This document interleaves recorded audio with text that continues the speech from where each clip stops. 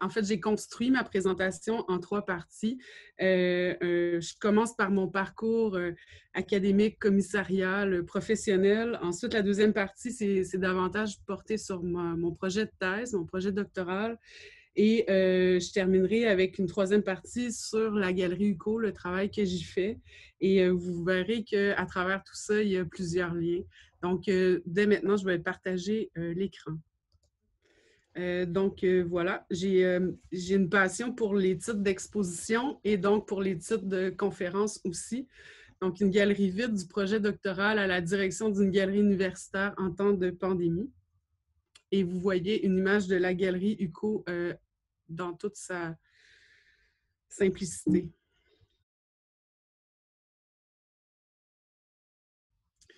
Donc, je vais commencer par mon parcours académique et euh, euh, je tiens à mentionner que je me sens un peu une intrue euh, au sein de, de muséologues car je n'ai jamais étudié en muséologie. J'ai un parcours un peu atypique, donc des études collégiales en arts visuels, un, baccalauréat en deux parties, donc une majeure à l'Université de, Montréal en études cinématographiques euh, que j'ai euh, fait seulement pendant un an. Euh, j'ai fait beaucoup d'histoire du cinéma dans le cadre de ce programme-là et vous verrez que ça a aussi influencé mon intérêt pour les, œuvres vidéo. et, mais donc, suite à cette année-là, j'ai décidé de me diriger vers un bac en art visuel que j'ai fait à l'Université Laval. ensuite de ça, je suis allée faire une maîtrise à l'Université du Québec à Chicoutimi. Euh, j'avais découvert pendant mon bac un dépliant euh, dans un journal Voir à l'époque. Euh, et c'était un dépliant en noir et blanc. C'était écrit L'art ailleurs. Et c'était le document promotionnel de l'Université du Québec à Chicoutimi avec ses programmes en art. Et c'était simplement, en fait, une image du fjord du Saguenay en noir et blanc. Et quand j'ai vu ça, j'ai été vraiment attirée euh, attirée par euh, le fait de pouvoir euh, poursuivre mes études à des cycles supérieurs dans une région un peu éloignée, dans une région tout de même très riche au niveau artistique. Mais j'avais jamais mis les pieds à Chicoutimi, donc ça a été vraiment pour moi une sorte de renouveau. ça a été extrêmement stimulant. Mais malgré tout ça, après un an à la maîtrise, j'ai j'ai fait une demande pour faire un stage dans le cadre de mes études euh, au Centre européen d'action artistique contemporaine à Strasbourg. Euh, je m'intéressais énormément aux différentes structures organisationnelles du monde de l'art et euh, je voulais aller voir comment ça se passait ailleurs. Donc, j'ai fait un stage de six mois à Strasbourg qui m'a permis de voir comment ça se passait en France, mais en plus, je dirais que j'ai eu la chance d'être une stagiaire atypique, donc qui était habituée à voir des stagiaires qui faisaient des photocopies. Euh, moi, j'étais plutôt euh, hyper active et euh, à un certain moment, je m'intéressais beaucoup aux résidences. Il y avait un programme de résidence internationale. Et à un certain moment, la, la, dame qui était en charge des résidences internationales devait aller au même moment au Québec et en Serbie. Et euh, elle m'a demandé si j'étais intéressée à aller en Serbie parce qu'effectivement, elle n'allait pas me retourner au Québec. Alors, euh, je me suis retrouvée à représenter des artistes vidéastes français dans un festival euh, de vidéos à Novi Sad en Serbie. Et vous allez voir que ça a eu un impact majeur. Et donc, tout ça s'est passé pendant mon projet de maîtrise. Mon projet de maîtrise s'appelait euh, habiter autrement le lieu de l'art, une présence à soi et à l'autre. Et euh, en fait, c'était comme l'amorce d'une réflexion commissariale sans que ce soit nommé ainsi. Et euh, mon projet de fin de maîtrise s'est déroulé dans le centre d'artistes Séquence à Chicoutimi.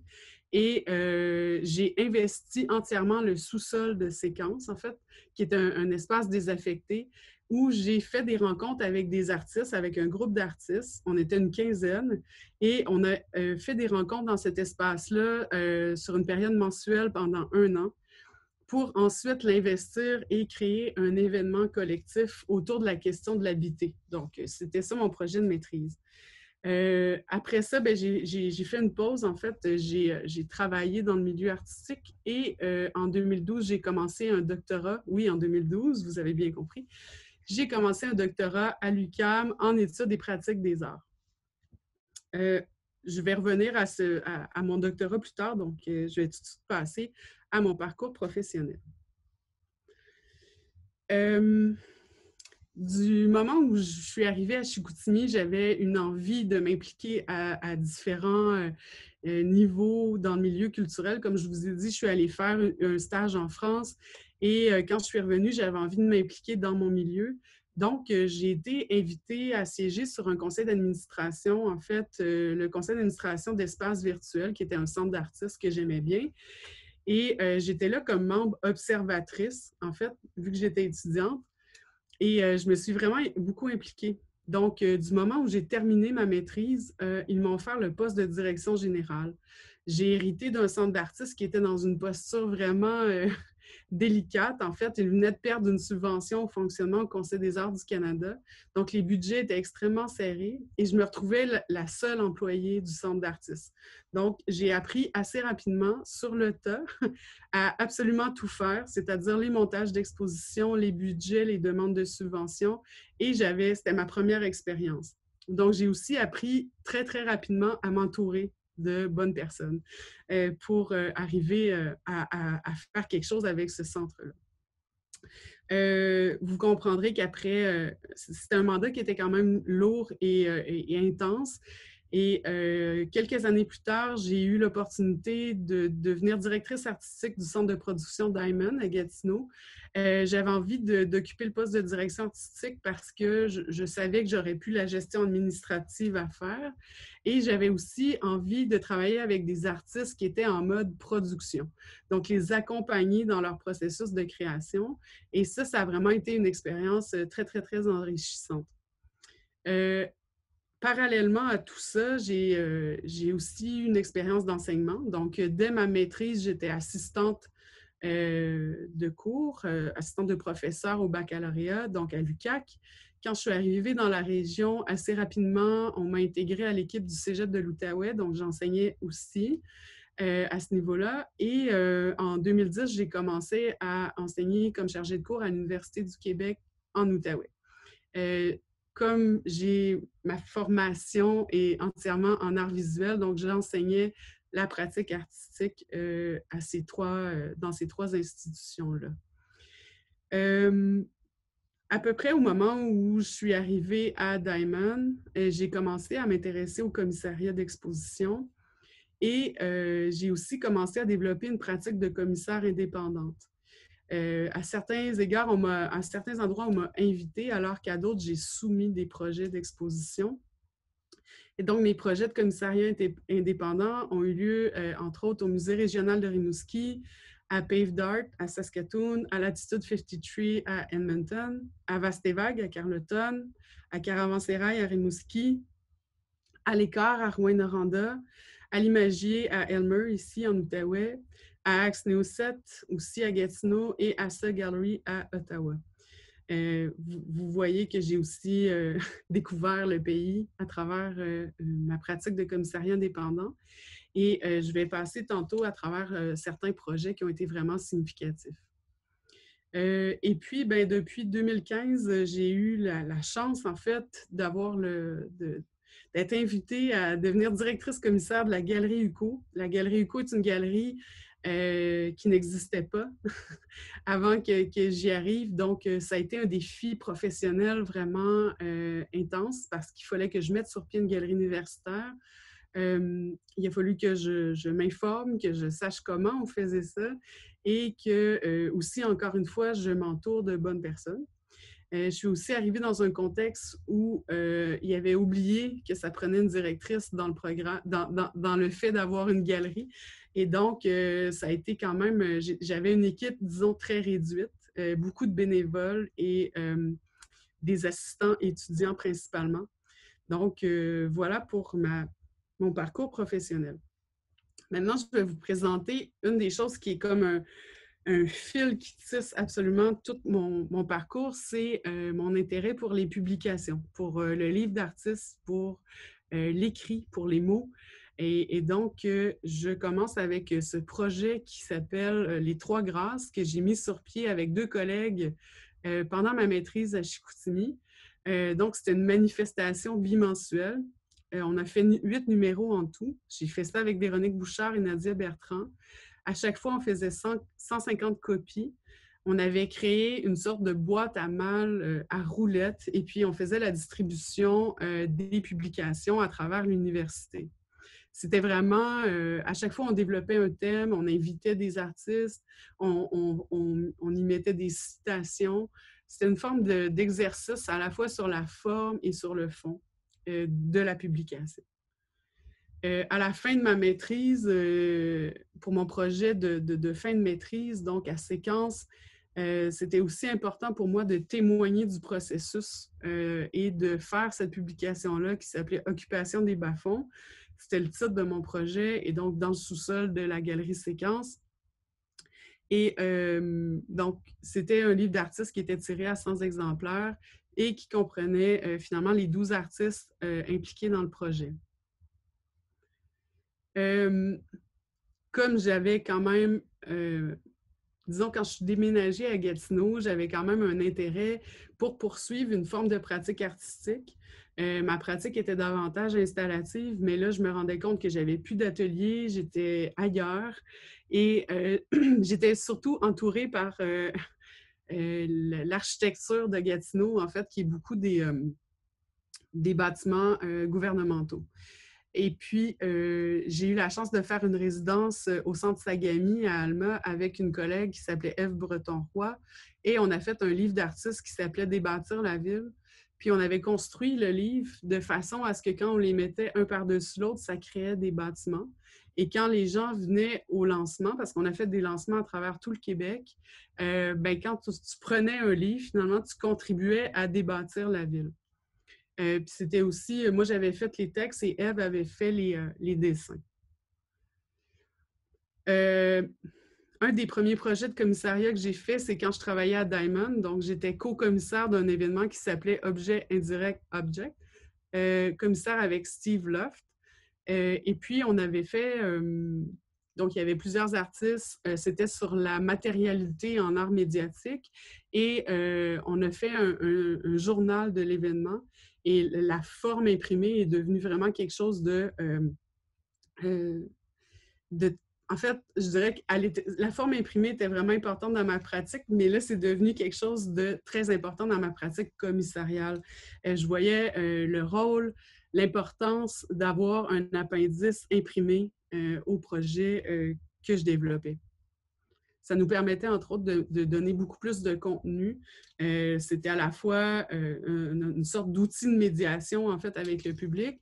Et, puis, euh, après coup, on se rend compte que c'est quelque chose qui reste aussi après le projet. Ça, devient une trace vraiment importante. un de mes projets de commissariat majeur, je vais revenir tantôt, c'est un projet avec Emmanuel Licha. Qui s'appelait Prendre pause, Striking a Pose.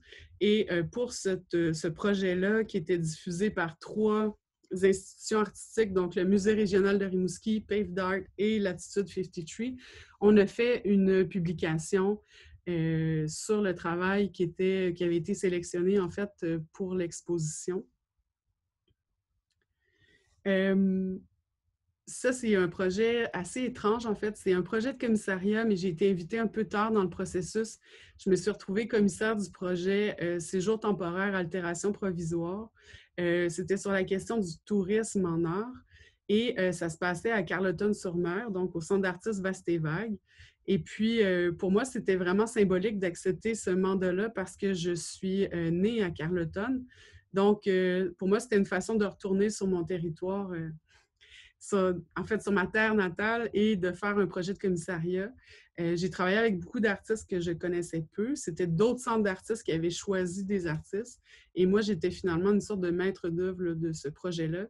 Et euh, pour moi, c'était encore une fois très important d'avoir une trace, en fait, euh, du projet dans un, dans un livre. Et on a fait un carnet de séjour donc, on a eu différentes contributions plus théoriques sur la question du tourisme et de l'art en région. Et on avait une, deuxième partie au livre qui était finalement une carte de comment, une carte géographique de comment ça s'est déployé sur le territoire de la ville. Euh, ça, c'est certaines des publications qui, euh, que, j'ai, euh, qu'on a mis sur pied à la Galerie UCO. Donc, euh, ici, ce que vous voyez, c'est la série des entretiens. On a l'entretien 1, 2, 3 et 5. le numéro 4, volontairement, va être publié cette année, ultérieurement. en fait, quand je suis arrivée à l'UCO, ben, je travaillais avec très peu de budget et en 2016, en fait, l'université a mis sur pied une planification stratégique par projet. Et donc, euh, j'ai proposé le projet de développer une stratégie éditoriale pour la galerie et notre projet a été retenu. Ça nous a permis d'aller chercher du financement qui venait encore de l'université, mais c'était un financement euh, supplémentaire pour euh, mettre sur pied justement cette stratégie éditoriale-là.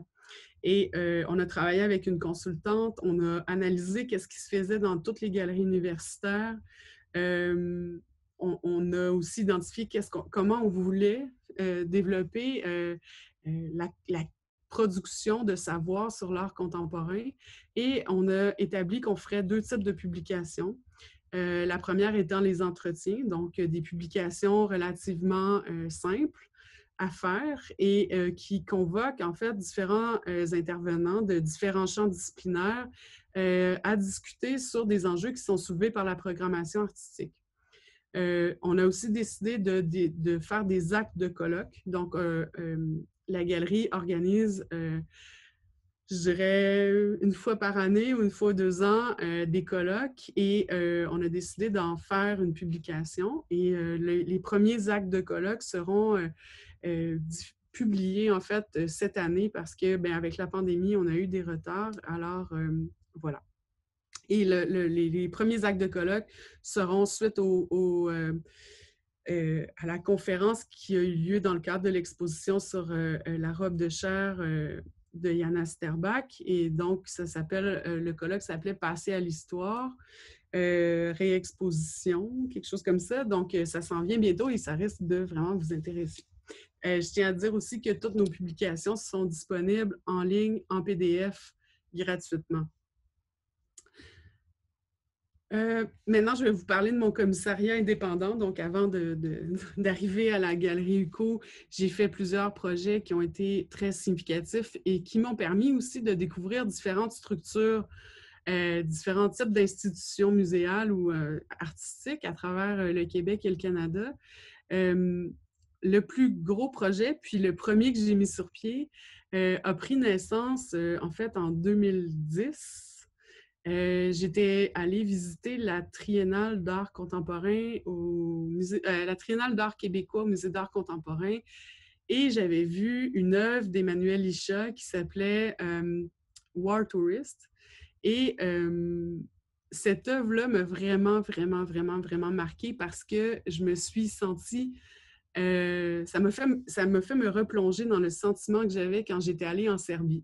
Donc, quand j'avais fait mon stage euh, à OCEAC et qu'on m'avait envoyé en Serbie, euh, j'avais quand même l'impression d'être en quelque sorte une touriste de guerre. Et euh, quand j'ai vu l'œuvre d'Emmanuel Lichat, ça m'a vraiment, vraiment parlé. quand j'ai vu ça, je me suis dit, je veux travailler avec lui, j'aimerais vraiment pousser davantage la réflexion. Et j'avais jamais fait de commissariat avant. Donc, je lui ai envoyé un courriel. J'ai pris le risque de lui envoyer un courriel, de lui dire J'aimerais travailler avec toi, j'ai jamais fait ça. Est-ce que ça te tente? Et puis, il a dit oui. donc, comme quoi, il faut, euh, il faut se lancer. Euh, et donc, ça a pris quand même euh, presque deux ans avant de tout ficeler le projet et que ce soit accepté dans différentes structures. Et donc, ici, ce que vous voyez, c'est l'itération qui a été présentée au musée régional de Rimouski. Euh, c'était euh, en fait une exposition qui affirmait euh, les, différents protagonistes qui produisent des images en temps de guerre ou en temps de conflit et tout le hors-champ qui sont qui, qui, qui, qui autour de l'image, en fait, tout le hors-champ de l'image. donc, Emmanuel Lichat a vraiment euh, développé toute une... Bien, il y a une carrière quand même assez établie, mais il a développé une pratique sur justement qui produit les images. Et pour moi, ça avait vraiment euh, euh, beaucoup d'écho sur mes intérêts, sur mon intérêt sur la guerre que j'avais depuis que j'étais allée en Serbie. et de constater aussi que comment les artistes traitent des guerres. Donc, je me suis vraiment plongée avec ce projet-là à fond dans, ces, enjeux-là. Ensuite, j'ai été invitée à faire un projet à Rimouski, un peu, euh, euh, c'est assez, exceptionnel comme projet. En fait, ça s'appelle Espace Blanc. C'était la dernière itération, Espace Blanc 5. Et euh, j'avais développé la thématique sur l'occupation du territoire comme forme de résistance. Et ça se passait sur la banquise et dans la ville de Rimouski en plein mois de janvier. Donc, vous pouvez vous imaginer les enjeux pratiques ou techniques d'une telle aventure je vous dirais que ce, type de projet-là beaucoup plus, euh, a beaucoup plus de contraintes et beaucoup moins contrôlé que finalement quand on présente une expo en, galerie ou en musée. Mais j'ai quand même beaucoup apprécié euh, l'expérience. Mais quand on s'adresse aussi, quand on est dans une région éloignée, euh, l'enjeu de la guerre ne pouvait pas être nécessairement abordé de façon frontale. Donc, j'ai davantage abordé la question de la résistance la résistance au froid, la résistance aux intempéries, euh, différents types de résistance finalement. Euh, le travail avec Emmanuel Licha est, en fait, euh, une, relation s'est créée. J'ai découvert toute sa pratique et au-delà du corpus qu'on avait développé pour prendre pause, il y avait un projet qui m'intéressait vraiment beaucoup qui était Preparing for Serious Events qui s'intéressait aussi à la question du tourisme, donc euh, qui m'avait, euh, que j'avais déjà euh, côtoyé. Et ce projet-là a été présenté à Axe Neo 7. Donc, c'était deux écrans qui se faisaient face dans une salle. Et c'est des cheerleaders, en fait, qui, qui chantent Burn It Down pendant qu'il y a des hommes cagoulés qui vont brûler un, office de tourisme. Donc, c'est une œuvre sur la question du tourisme de masse, le tourisme en lien avec les arts aussi. Euh, donc voilà pour ce projet-là qui a été présenté à Axe Neo 7 en 2013. Euh, vous voyez que je suis fidèle, hein, quand j'aime quelqu'un, je l'aime pour vrai. Ici, c'est un projet qui s'appelle Préparation-Réparation. En fait, j'avais proposé une soirée de projection vidéo avec les œuvres de Harun Farouki et de Emmanuel Licha qui témoignaient de l'avant et de l'après chez les soldats américains pendant la guerre en Irak. Euh, j'avais vu des échos vraiment dans ces deux œuvres-là et euh, ça a été vraiment une projection qui était euh, vraiment, vraiment appréciée et stimulante en fait. juste au moment où je j'allais euh, entrer en fonction à la Galerie UCO. J'étais aussi en préparation d'un projet euh, à l'écart, à Rouen-Noranda. Euh, l'équipe de l'écart m'avait invité à faire une résidence de recherche en 2014 et il m'avait donné une carte blanche. On, connaît, si vous connaissez l'écart, c'est quand même un peu plus pop ce qu'ils font, mais il m'avait vraiment dit non, non, tu peux aller dans des sujets un peu plus trash, ça ne nous dérange pas, c'est pour ça qu'on t'a invité. Donc, euh, j'ai proposé un projet qui s'appelait La fin du dialogue, le mur. Et euh, en fait, c'était euh, c'était une exposition collective sur la question du mur, mais différents types de murs, donc avec des artistes d'un peu partout. et voilà pour mon parcours de commissaire indépendant. C'est une sélection. Je suis allée évidemment dans des projets qui ont été vraiment significatifs en lien avec mon projet de thèse. Euh, ça, je, je, l'ai mis là parce que je considère que c'est une des choses vraiment importantes, en fait, dans mon parcours, euh, c'est nos implications. Donc, je ne voulais pas faire l'éloge de mon, mon CV, mais euh, une des choses que je trouve vraiment importante dans l'idée d'une de, la, création d'un réseau, de la connaissance de nos collègues, euh, des réalités aussi qui se vivent à différents niveaux, que ce soit au niveau régional, canadien, international, euh, ça a été pour moi de, m'impliquer dans différents conseils d'administration. Euh, et puis, ben, je voulais juste le souligner parce que ces implications-là font qu'on rencontre des gens de différents domaines, on crée des liens, euh, ça, ça, ça, nous permet de, ouais, de se créer son propre réseau, mais aussi de comprendre euh, dans toute, sa, dans toute sa profondeur, en fait, le, milieu artistique. Donc, euh, c'est ça, je voulais juste en parler rapidement. Parfait. Donc, mon projet doctoral, pour répondre à la question de Marie. le projet doctoral, c'est toujours un peu... Euh, c'est la partie qui me, qui me donne des sueurs un peu parce que c'est un projet qui, euh, qui a fait ça, c'est un parcours qui a fait ça. Euh, donc, je vous présente un peu son état, mais aussi les étapes. Donc, je suis vraiment très transparente à travers ma, dans ma présentation comme je vous disais tantôt, j'ai eu la chance d'aller en Serbie euh, en 2004. Euh, quand je me suis retrouvée là-bas, à Novi Sad, je suis arrivée à Belgrade. Euh, je savais qu'il y avait eu la guerre, mais je suis arrivée là vraiment comme une espèce... J'étais vraiment naïve, je savais pas trop. Je savais qu'il y avait une guerre, mais je ne connaissais pas les détails. Et là, on voit le pont de Novi Sad qui a été bombardé par l'OTAN en 99. Donc, je suis arrivée dans un décor un peu de fin du monde. il y a toutes les, toutes les traces de la guerre étaient encore présentes. Euh, la population se remettait tranquillement, donc, euh, mais, dans une pauvreté extrême. Et euh, ça m'a réellement marqué. Et puis, sans que je le sache à ce moment-là, mais quand je suis revenue, j'ai voulu lire sur la guerre, j'ai voulu savoir exactement c'était quoi cette guerre-là. et ça m'a amené à lire sur d'autres guerres aussi. Et je lisais pas seulement euh, j'ai lu vraiment différentes sources, c'est-à-dire à la fois des bandes dessinées, euh, des récits, euh, des articles de journaux. Donc, j'allais chercher mes sources à, différentes, à différents endroits. Mais quand j'étais là-bas, j'ai été accueillie par un artiste. Donc, c'est un artiste qui, qui m'a accueillie chez lui, qui était vidéaste. Et puis, il m'a fait rencontrer d'autres artistes. Puis, il m'a présenté à, en fait, mon mandat là-bas, c'était aussi d'aller euh, faire du repérage pour euh, des partenariats euh, avec d'autres galeries. Et je m'ai rendu compte de l'état de l'état désastreux dans lequel se trouvaient les institutions artistiques du pays. mais c'est vraiment là où je me suis rendu compte que pendant la guerre, il y a des gens que ce qui était fondamental pour eux, c'était de continuer à faire de l'art. Donc, je me suis dit, mais c'est dommage différent de ce que je connais au Canada, où les artistes fonctionnent par subvention beaucoup.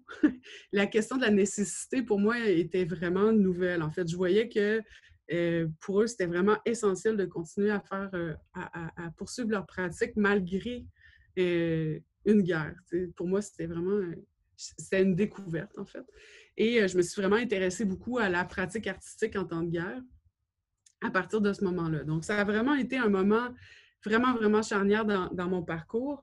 Et euh, quand j'ai proposé mon projet doctoral euh, en 2012, donc, euh, je m'intéressais vraiment aux pratiques artistiques qui traitent de la guerre et surtout par l'image, donc la photo, la vidéo. mais vous allez voir que le projet a vraiment, s'est vraiment transformé.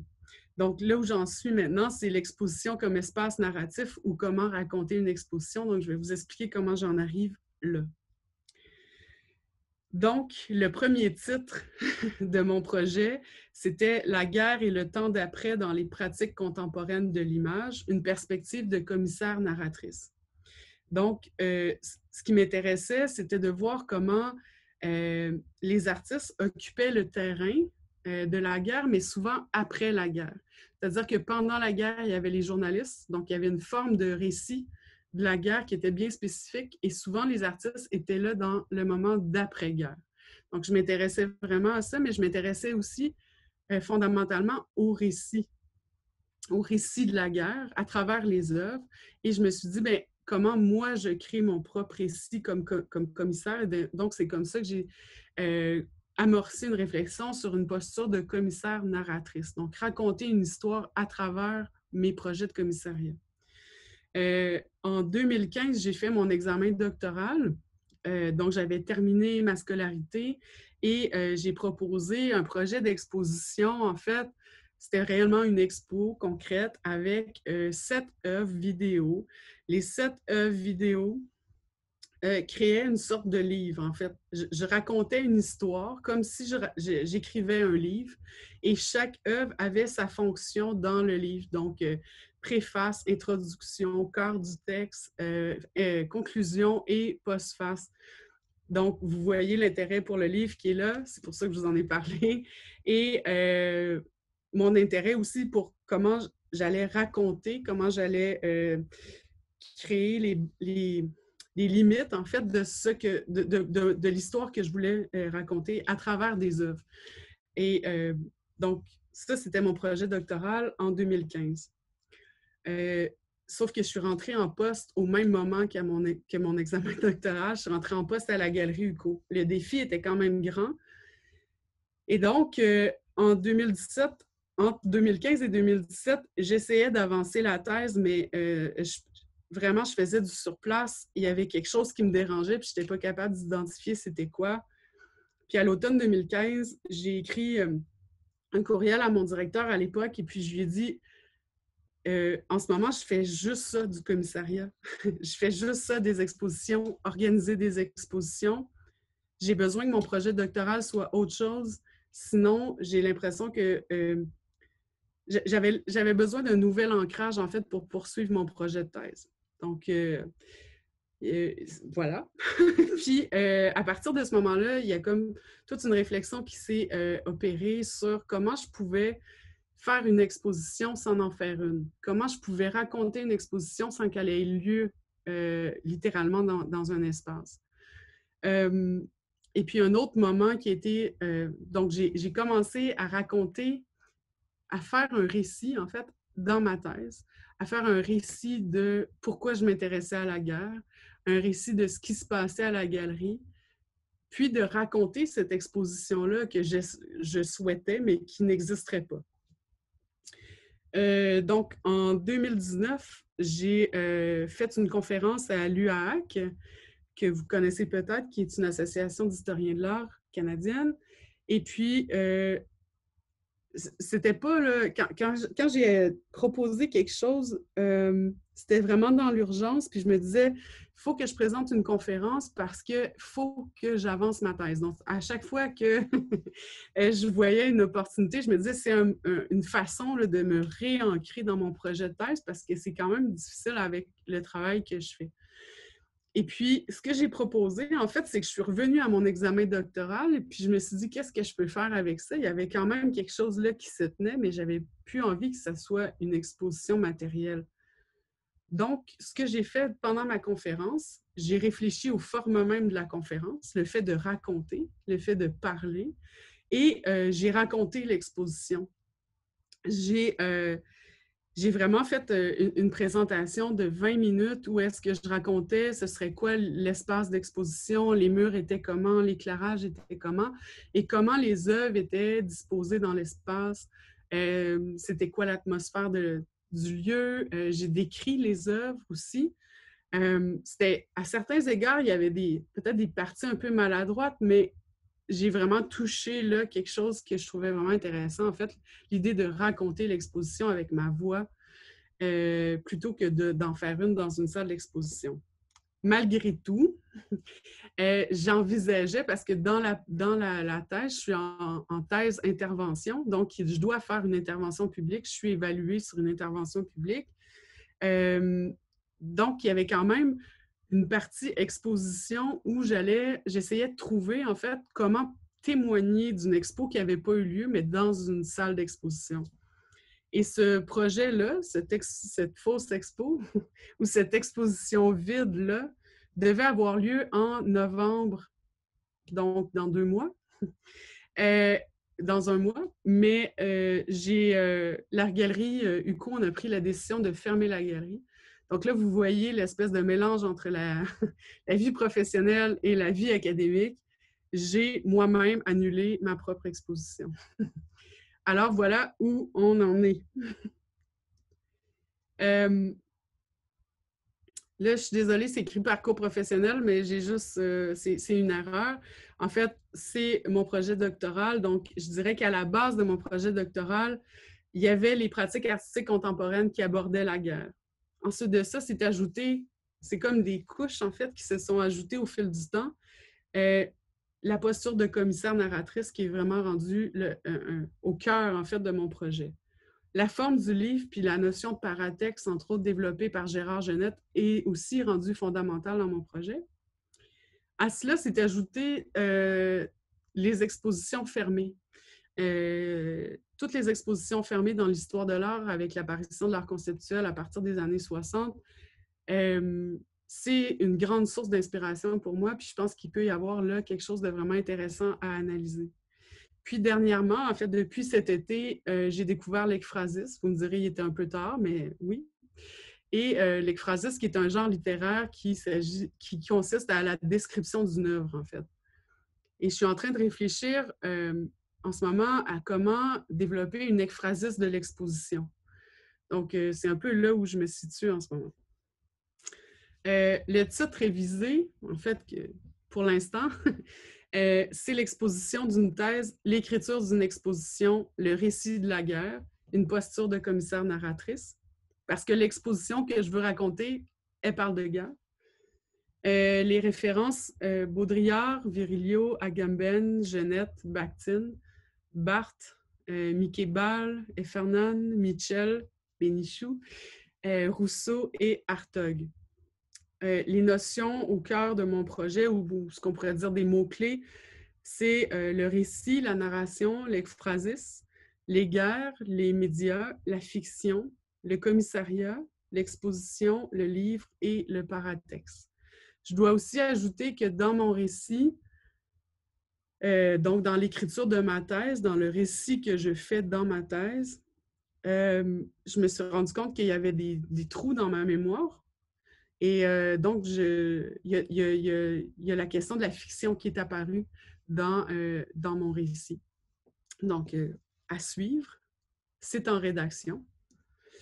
Euh, et puis, ben, question de l'ancrer, parce que je suis commissaire, question de l'ancrer dans des œuvres bien concrètes. Euh, je voulais juste vous présenter deux œuvres qui sont pour moi vraiment fondamentales. En fait, euh, la première, c'est CNN Concatenated de Homer Fast. en fait, cette œuvre-là est vraiment fascinante. c'est des extraits de bulletins de nouvelles post-11 septembre. Et ce que Homer Fast a fait, c'est qu'il a retirer en fait des parties où il y a, juste des mots. Puis il a créé un nouveau récit à partir de un mot par présentateur. Donc, euh, je vous invite, à aller, est disponible sur YouTube. Et euh, c'est vraiment une œuvre qui, pour moi, me fascine parce qu'elle répond à la fois à la question du récit, de la narration, en fait, effectuée par les journalistes, parce qu'on s'entend que la façon dont les guerres nous proviennent c'est beaucoup par les médias d'information et par le récit que les journalistes décident d'en faire. Souvent, ces récits-là sont aussi contrôlés par les militaires. Et euh, c'est vrai, je trouve que cette œuvre-là témoigne exactement de ça. Donc, la question du récit, la question de l'image de guerre. Et donc, euh, voilà. Et euh, l'autre œuvre qui est fondamentale dans mon travail, c'est dans, dans, ce projet-là, c'est une œuvre qui s'appelle Raw Footage de Arnaud Mick, euh, qui est précisément sur la guerre euh, en Bosnie en plus. Et ce que Arnaud Mick a fait, c'est qu'il a utilisé les bandes, en fait, le raw footage, les images qui ont été refusées par les agences de presse. Donc, il a, utilisé les images qui n'étaient pas prises pour faire les bulletins de nouvelles et il en a fait une œuvre double écran euh, avec euh, euh, toutes ces images-là qui avaient été captées par les journalistes sur le terrain, mais qui avaient été refusées finalement pour passer aux nouvelles. Donc, vous voyez, ces deux œuvres-là sont vraiment, je dirais, le corps du texte de, mon, de mon exposition sous forme de livre, ou en tout cas, c'est vraiment deux œuvres qui sont, pour moi, qui tissent tous les liens, en fait, et tous les intérêts que j'ai par rapport à mon projet doctoral. Donc, euh, maintenant, je vous parle de la galerie UCO. Euh, ce que vous voyez, en fait, c'est l'identité visuelle de la galerie. Euh, identité visuelle qui a été développée par Simon Guibard. je ne sais pas si vous avez remarqué, mais la plupart des publications que j'ai faites pour différents de mes projets, j'ai travaillé avec Simon Guibard. C'est une relation euh, à, la fois amicale, mais aussi une relation de confiance. Euh, c'est rendu que quand je travaille avec Simon pour le design, on n'a même pas besoin de se parler. En fait, on se comprend par, euh, par signe. On se dit deux, trois mots, puis tout est réglé. Donc, j'ai travaillé avec Simon pour le développement de l'identité visuelle de la galerie. Et je vais revenir tantôt parce qu'on a présenté, en fait, la première exposition inaugurale de la galerie, c'était le dévoilement de l'identité visuelle. Euh, c'était aussi une façon d'affirmer que le design serait quelque chose de vraiment euh, fondamental ou au cœur, en fait, des préoccupations de la galerie.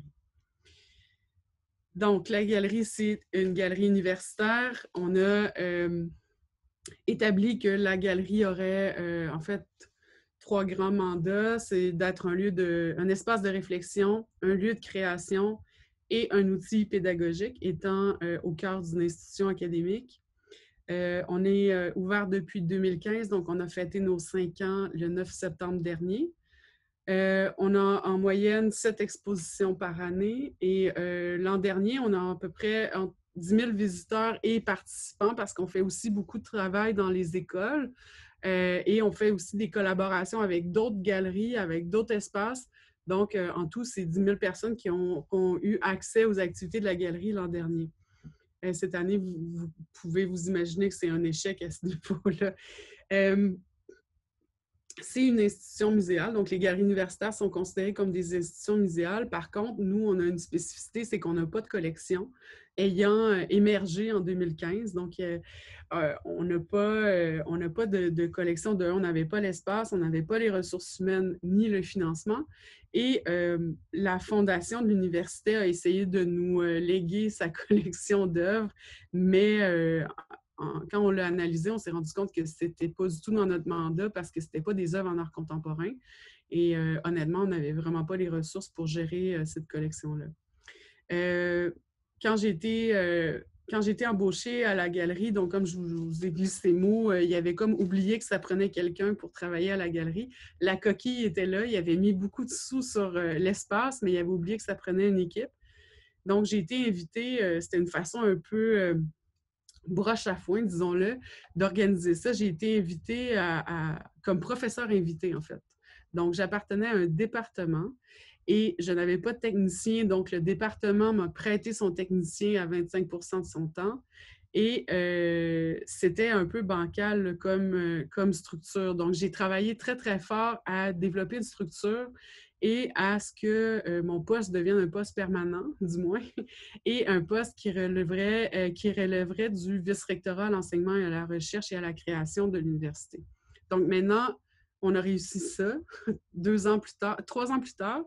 Euh, on a réussi à ce que mon poste devienne un poste de cadre à l'université. Euh, je relève du vrai et euh, la galerie relève du vrai aussi. Donc, c'est beaucoup plus facile pour moi et pour la galerie d'avoir accès à des financements, d'avoir une place, en fait, dans l'appareil institutionnel. Et je vous dirais que c'est un défi au quotidien parce que je me ramasse dans des réunions avec le registraire et, la directrice des finances. Donc, j'apprends euh, vraiment un nouveau monde, mais euh, c'est quand même, euh, quand même quelque chose de très intéressant et n'ayant jamais étudié en gestion, j'apprends à vitesse grand V. les différents modes de diffusion de la galerie, c'est au cœur de notre mandat, c'est les expositions. On a développé aussi différents programmes publics. Donc, on fait des conférences, on a développé des cercles de lecture, on a eu des concerts.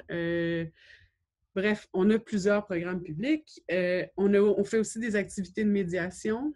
Euh, on, a développé en fait un projet qui s'appelle la Galerie à l'école et euh, on se rend dans les écoles primaires et secondaires de la région et on essaie de leur proposer des activités où il est quand même question de euh, de production de savoir. On essaie d'intégrer les jeunes dans la production du savoir sur l'art contemporain. Donc, on a fait, entre autres, des activités. On a fait un balado, entre autres, avec les jeunes, où c'est eux qui sont amenés à poser des questions à des artistes euh, en art contemporain.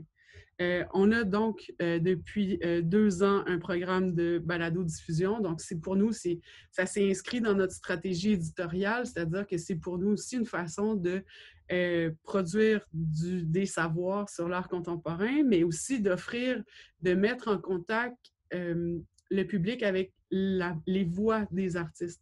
Donc, c'est vraiment les artistes de la programmation qui euh, sont au cœur de nos balados. Et les publications dont je vous ai parlé tantôt, donc les actes de colloque et les entretiens. le commissariat est vraiment au cœur de, mes intérêts et donc au cœur aussi du mandat de la galerie. Euh, le commissariat comme champ de recherche. toutes les pratiques de l'exposition aussi, donc tout ce que le commissariat peut englober. Et la Galerie UCO n'accepte que des projets soumis par des commissaires ou des institutions artistiques. Donc, on ne reçoit pas de, de dossier d'artistes. on, valorise en fait réellement les projets et la recherche commissariale. Euh, on a, euh, ben, comme je vous disais, quand je suis arrivée en 2015, il fallait quand même donner une structure à tout ça et donc il fallait se donner des différentes, euh, différents axes, différentes orientations et les axes d'intervention qu'on a mis sur place. c'est l'avancement de la recherche et des connaissances, donc c'est ce à quoi on veut contribuer. On veut aussi soutenir l'exploration artistique. On veut participer à une réflexion critique et on veut être engagé socialement. Euh, on essaie d'y arriver à travers tous les, différents modes de diffusion que je vous ai présentés juste avant. Euh, et euh, pour faire la programmation artistique, pour choisir en fait tout ce qui est contenu artistique, en fait, on s'est doté d'axes de recherche et de création. Et donc, ces axes-là ne sont pas coulés dans le béton, c'est-à-dire que depuis cinq ans, on travaille avec ces, quatre axes-là et seront, ils seront appelés à changer ou à être modifiés ou bonifiés au fil du temps. Et donc, les quatre axes sont le rôle et le statut du dispositif dans les pratiques artistiques contemporaines, les composantes littéraires dans les pratiques artistiques contemporaines, l'artiste comme critique, analyste et interprète de l'actualité, de l'institution et du lien social, et l'exposition comme médium ou langage. J'imagine que vous voyez un peu ma signature à travers ça. Euh, mais comme je suis, euh, je suis la commissaire principale de, la galerie, il fallait quand même que j'y trouve aussi euh, un champ d'exploration puis une façon de, de m'ancrer à travers ça parce que je dois vous dire, là, pour que vous ayez une idée, la première année de la galerie, mon budget annuel total était de 13 000 pour faire une année complète. Euh, alors que c'est souvent le budget, même pas une partie d'un budget d'une expo pour une expo. Alors, euh, je conduisais le camion pour aller chercher les, œuvres à Montréal. Euh, j'étais vraiment impliquée dans toutes les sphères. Et donc, je ne pouvais pas me permettre d'embaucher ou de proposer à des commissaires invités de faire des projets parce que ça doublait le cachet pour chaque projet. Donc, euh, la première année, j'ai vraiment fait la majorité des projets de commissariat. Et euh, là, tranquillement, euh, on a la chance d'accueillir des commissaires extérieurs parce que c'est ça, il y a comme une sorte de commissariat d'urgence qui s'est installé et là, ben, je vais vous présenter quelques projets qui sont pour moi vraiment, vraiment significatifs euh, à la Galerie UCO. Euh, comme je vous disais, donc la contrainte, euh, qui était le dévoilement de l'identité visuelle de Simon Guibard, qui était l'exposition inaugurale. En fait, quand on a développé l'identité visuelle, de un, il fallait que ce soit très fort parce qu'il fallait convaincre l'université qu'on aurait une identité visuelle euh, autonome. déjà, ça, c'était un bon défi. Il fallait aussi les convaincre d'avoir notre propre site web. Donc, vous voyez un peu le... Et euh, on avait 13 000 de budget. Donc, vous pouvez vous imaginer qu'on ne s'imaginait pas une identité visuelle en 40 couleurs. Donc, il fallait pouvoir faire de la photocopie, mais que ce soit quand même attrayant. Donc, on a développé la palette de couleurs. Ce que vous voyez au fond, c'est notre palette de couleurs. C'est tous les tons de gris photocopiés. Et euh, on a une identité visuelle, en fait, qui est capable de se transformer, qui est malléable et qui est une accumulation de, des lettres, en fait, qui est la galerie UQO, donc les, les lettres de la galerie. Euh, il y avait aussi dans l'exposition un entretien entre le typographe et le designer. Euh, le typographe qui a fait la, qui a fait la typo qu'on utilise, qui s'appelle Minotaur 100. Puis on a aussi fait une sorte de statement sur le concept de la contrainte, parce que finalement, on savait qu'on allait travailler avec que des contraintes pendant quelques années. Et euh, on a fait une sorte de statement photocopié encore euh, sur la contrainte. Et tout ça était quand même organisé, là, ça a peut-être l'air un peu étrange, mais tout ça était organisé par une grille graphique, graphique faite avec des push-pins. Donc, euh, et à la fin de l'exposition, on a tout enlevé les push-pins, on a tout conservé les feuilles parce que c'était tout imprimé et on en a fait un livre, un gros livre en fait, euh, qui est finalement la trace euh, ou l'archive de la première exposition de la galerie. Une seule copie. Euh, je vous parlais de mon, intérêt pour l'approche de commissaire narratrice. Euh, et donc, le premier projet d'exposition que j'ai présenté à la galerie après celui de Simon, c'était un projet qui s'appelait S'endormir près du monument pendant la Révolution, où je présentais trois œuvres. Donc, une œuvre de Boyan Fajfrik, où, en fait, c'est un artiste serbe qui euh, s'est rendu compte que son père faisait partie, du, faisait partie du Parti communiste et que pendant une réunion vraiment importante du parti, euh, il, est tombé endormi. Puis il est tombé endormi pendant le vote, euh, pendant un vote en fait qui a permis à, à, à Slobodan Milosevic d'être élu et donc de mener à la guerre. Donc, dans sa famille, ça a toujours été une sorte de honte, en fait, que son père se soit endormi pendant le vote. Et donc, il a fait une reconstitution de cette, euh, de cette réunion du Parti communiste euh, comme une forme d'exutoire. Euh, et donc, ça, c'était la partie s'endormir près du monument. Donc, ça, c'était l'œuvre de Milutin Goubache. Milutin, qui est aussi un artiste d'origine serbe et qui vit au Canada. Et avec lui, en fait, il s'est il a, toujours intégré ses, euh, ses, origines serbes à travers son travail. Euh, un portrait de Tito ici, un, drapeau serbe là. Et euh, ce qu'on a fait, c'est qu'on a monumentalisé sa pratique. ce que vous voyez, c'est l'image de gauche, en fait. C'est tout ce qu'il y avait dans son atelier et dans son entrepôt.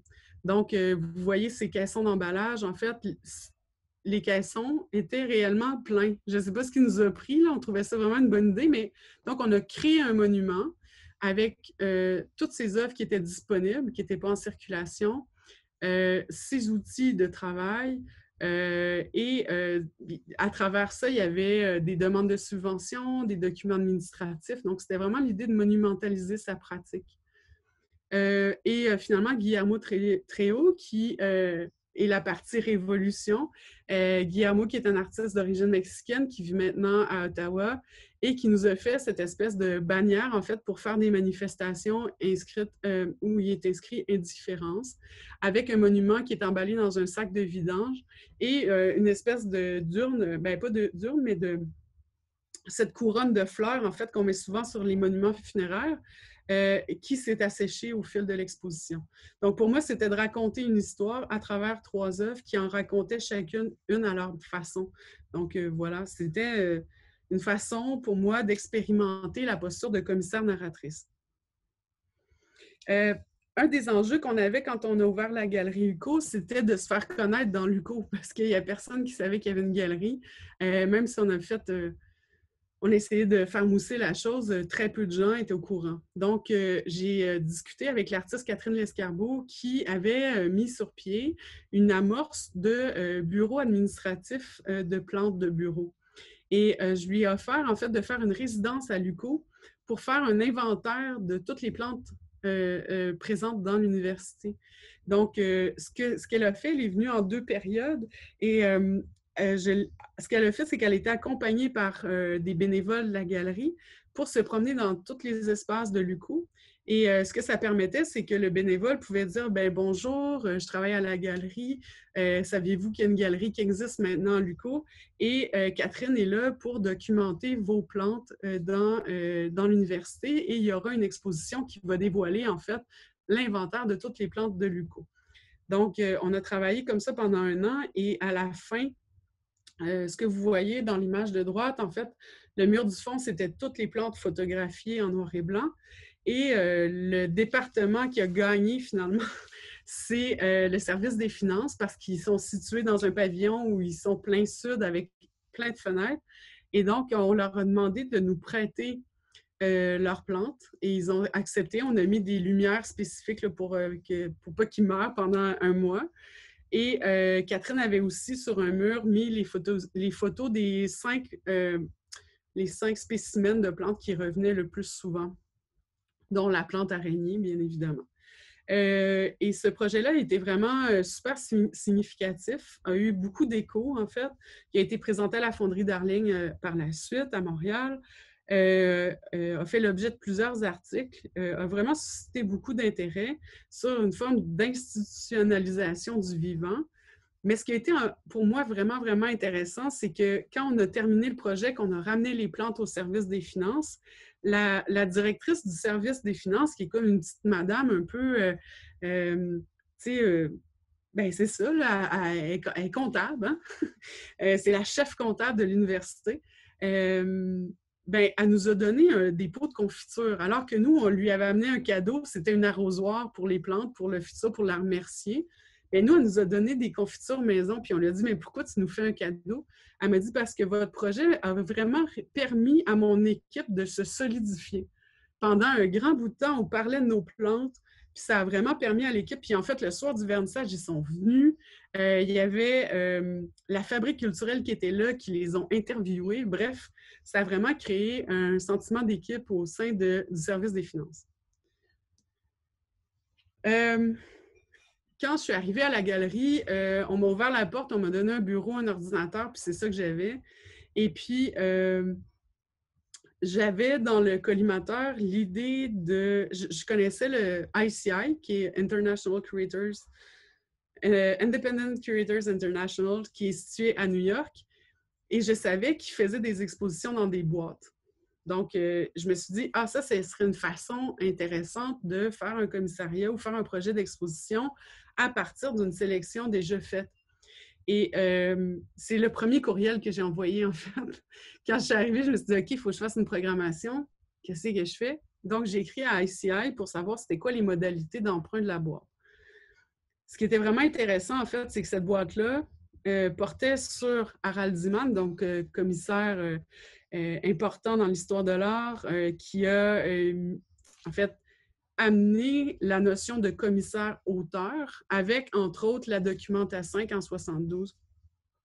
Et euh, ce qui est intéressant, c'est que c'est David Plasker qui travaille, euh, je ne sais pas s'il est encore au MoMA, mais donc il a travaillé au MoMA, qui avait fait une sélection de documents euh, sur la documenta 5 et sur Harald Diman. Et ces documents-là, certains étaient des originaux, comme le catalogue de l'expo ou des livres d'artistes. mais donc, tout ça nous est arrivé dans cette boîte de carton tout magané. Euh, et puis nous, ce qu'on a fait, c'est qu'on a travaillé avec euh, les étudiants en muséologie et pratique des arts à l'UCO dans le cours exposition euh, avec la professeure Mélanie Boucher. Et ce qu'on a fait, c'est que pendant toute la session, les étudiants ont travaillé avec le contenu de la boîte, ont travaillé à l'augmenter, à l'analyser, à trouver comment finalement faire l'exposition. on a travaillé avec eux à développer le projet d'exposition. On a aussi travaillé avec le, département d'études langagières parce que la plupart des documents étaient en allemand ou en anglais. Donc, ils nous ont, fait les traductions de certains documents qu'on trouvait vraiment importants dans la boîte. Et nous, ce qu'on a trouvé, en fait, le cœur de cette boîte-là, c'était réellement le catalogue de Harald Ziman. On s'est rendu compte que c'était une œuvre de Ziman, ce catalogue-là. Et ce qu'on a fait, c'est qu'on a euh, utilisé les mêmes normes graphiques que Ziman, pour que quand on rentrait dans la galerie, finalement, on rentrait dans, une, dans le catalogue. On utilisait la même typographie, puis on a séparé l'exposition en différentes sections, un peu comme dans le, catalogue de la Documenta 5. Euh, oui, voilà. je pourrais en parler vraiment longtemps, mais je vois le temps qui file. Euh, un autre moment où j'ai mis en pratique ma posture de commissaire narratrice, c'est dans cette exposition-là. Puis aussi, je vous en parle parce qu'il y a vraiment un intérêt pour la littérature dans cette expo-là, qui s'appelle The State of Parenthesis, euh, avec plusieurs artistes euh, québécois, canadiens et internationaux. Euh, et en fait, c'était pour moi l'occasion de réfléchir à la textualité comme matière, mais surtout à l'illisibilité. C'est-à-dire que la plupart des œuvres qui étaient présentes là étaient très difficiles à lire soit par accumulation, soit par euh, euh, retrait du texte, euh, soit par... en tout cas, bref, plusieurs exemples. J'aurais pu parler de ça aussi très longtemps. Et ce que je trouve vraiment intéressant, c'est que le titre a été choisi parmi une liste de titres, une liste de titres d'exposition qui est une œuvre de Stéphane Brugman qui s'appelle Show Title. Donc, quand on présente l'œuvre Show Title de Stéphane Brugman, c'est une liste de titres. Il y en a genre 3-4 000. Donc, si on présente cette œuvre-là, il faut euh, choisir un des titres pour l'exposition. Donc, euh, voilà, c'est de là que vient le titre de l'expo. Et euh, par exemple, dans le cadre de cette expo-là, j'avais invité Jean-Max Collard, qui travaille au Centre Pompidou et qui avait fait un, superbe texte qui s'appelle Titrologie de l'exposition. Donc, j'ai mis en parallèle l'œuvre de Stéphane Brugman avec le texte de Jean-Max Collard. Euh, l'œuvre que vous voyez au niveau la grande table, c'est une œuvre de Sophie Jaudoin où elle a pris un livre, en fait, et elle a enlevé euh, beaucoup de textes pour en laisser simplement des mots ou des bouts de phrases pour en faire un nouveau récit. Euh, et l'œuvre que vous voyez en bas, c'est une œuvre de Christos Pantieras, qui est en fait un courriel de rupture qu'il a reproduit, gravé dans des briques en cire. Donc, euh, ça aussi, avec une question d'illisibilité, mais euh, une question très... Euh, en fait, il, rendait le texte visible par la matière. Donc, voilà. Puis, ah oui, si je peux dire une chose, pour cette expo-là, on m'a demandé si c'était un seul artiste. Donc, pour moi, il y avait quelque chose d'intéressant parce que j'avais l'impression que mon travail de commissaire avait quand même été... il, y avait, il y avait une forme de, de cohérence, en fait, dans euh, euh, le choix des œuvres. Une autre façon de présenter un discours sur l'art, en fait, c'est par la conférence. Et donc, cette œuvre-là de Rabbi Broué, qui est un artiste sur lequel j'ai beaucoup étudié, c'est un artiste que j'adore, qui s'intéresse à la guerre, bien évidemment. Euh, il a fait une œuvre sous forme de vidéoconférence. Il l'a fait à la fois sous forme d'installation vidéo, mais aussi sous forme de performance. Et c'est réellement une conférence, en fait, où il nous présente le résultat de ses observations et de ses recherches sur l'utilisation du cellulaire pendant la guerre en Syrie. En fait, ce qu'il s'est rendu compte, c'est que les gens captent la guerre avec leur cellulaire au risque de leur vie. C'est-à-dire que vu qu'ils regardent à travers l'écran, ils oublient qu'ils sont eux-mêmes la cible des euh, snipers. Donc, il fait une analyse à travers cette œuvre-là de, euh, en fait, l'utilisation des écrans ou le, rôle des écrans dans la guerre. Et euh, dernier projet que, que, je vous présente, en fait, la robe de chair au Musée national, exposition et reconstitution. Donc, euh, comme je vous disais, j'ai travaillé avec Mélanie Boucher sur le projet Ziman et on a eu envie de continuer euh, notre travail collectif ensemble. Et l'idée est venue parce que Mélanie, en fait, a fait son doctorat sur la nourriture en art contemporain, l'utilisation de la nourriture. Et moi, en fait, quand j'avais 10 ans, j'ai vu l'exposition de la robe de chair au Musée national et ça m'a vraiment marqué. Euh, ça, ça, a vraiment marqué un point tournant dans ma jeunesse parce que je me suis dit, ah mon Dieu, on peut aller jusque-là en art, on peut faire une robe avec de la viande. J'étais vraiment fascinée. Et euh, donc, moi, c'était plus une anecdote de vie, puis Mélanie, vraiment un intérêt euh, académique.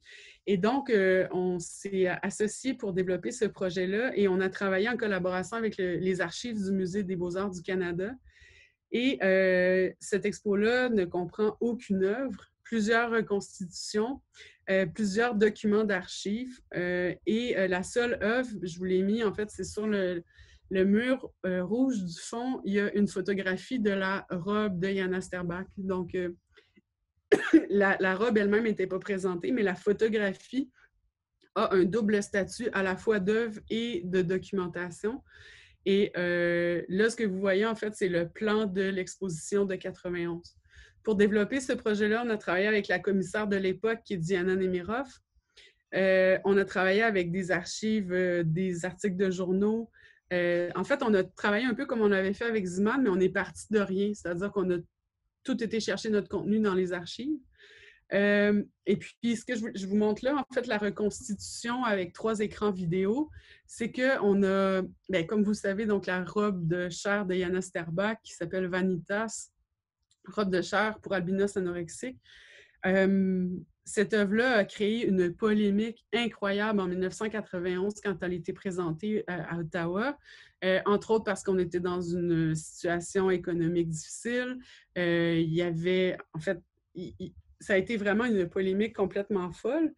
Et euh, elle avait été présentée avant dans d'autres pays ou dans d'autres villes, puis il n'y avait jamais eu de polémique. C'était vraiment la première fois que ça, se passait. Il y avait aussi un, gouvernement conservateur à Ottawa.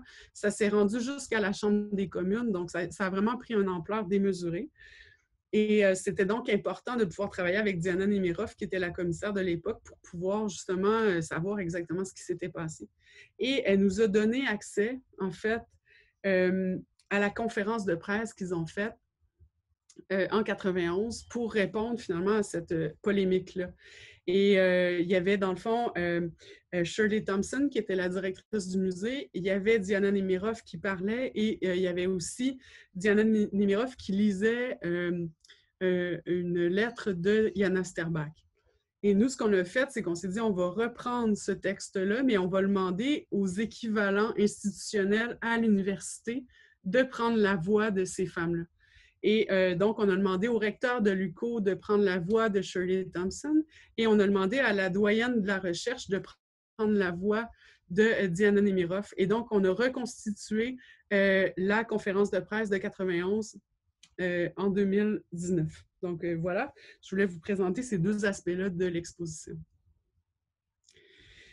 Et là, ben, je peux passer un peu plus rapidement, mais donc, ce qu'on fait depuis que Euh, la Terre a arrêté de tourner. Donc, depuis mars 2020, euh, euh, nous, on avait lancé une exposition deux jours avant, avant qu'on se fasse dire de fermer la galerie. Donc, on a eu un moment de réflexion, un moment, un, temps d'arrêt nécessaire pour se demander ce qu'on allait faire de tout ça. Et notre première intervention, ça a été d'inviter des gens, en fait, à nous adresser une lettre en, leur demandant que faire quand votre monde commence à s'effondrer. Et on a eu une réponse vraiment positive de plusieurs personnes, plusieurs collaborateurs de la galerie UCO. Et donc, toutes ces lettres-là sont disponibles sur notre site Web. On en a diffusé une par semaine du mois d'avril jusqu'au mois d'août. Euh, pendant euh, ce moment-là, euh, je ne sais pas si vous vous souvenez, j'imagine que oui, on entendait souvent les gens dire de, les gens nous parlaient d'un retour à la normale. On espérait un retour à la normale. Et puis, je sais qu'en équipe, on, on, y a réfléchi souvent, puis on se disait, mais est-ce qu'il y a vraiment un retour à la normale possible? Ou est-ce que c'est ça qu'on veut revenir à la normale? Puis c'est quoi la normale? En fait, ça, ça nous a fait beaucoup réagir.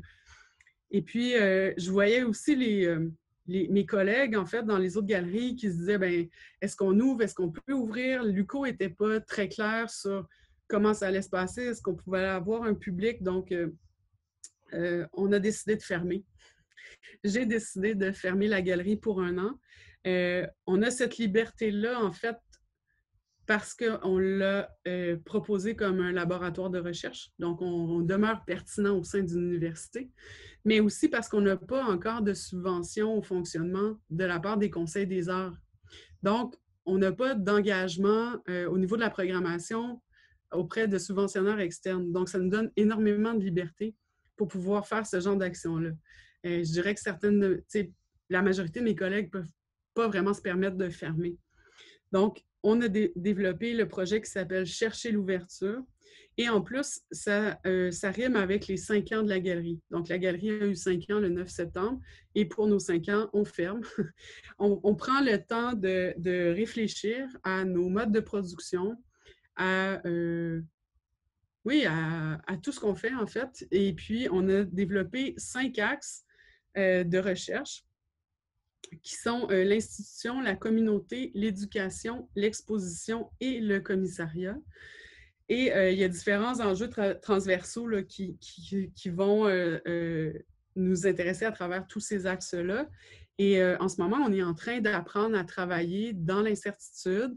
on est en train de se développer des nouvelles méthodes de travail parce que faire des expos, ça, on était très rodés. On savait comment faire, comment s'organiser là, on est un peu euh, déstabilisé, je dirais, mais euh, on y arrive. Et donc, euh, en ce moment, on est dans l'axe institution. Pour chaque axe, on invite des artistes, des conférenciers, bref, plein de monde. Et on a transformé une des choses aussi, c'est que Mon équipe travaille dans un ancien entrepôt, donc dans à peu près 3 mètres carrés. Donc, au niveau des règles sanitaires, on devait revoir les choses et donc on devait investir la galerie comme un espace de travail. Donc, nos bureaux sont rendus dans la galerie. Euh, on a utilisé les murs aussi pour intervenir directement sur les murs et euh, euh, visualiser finalement l'avancement de nos recherches. Donc là, vous avez les cinq axes de recherche. on a un espace bibliothèque et référence. On a un espace calendrier pour essayer de s'organiser aussi.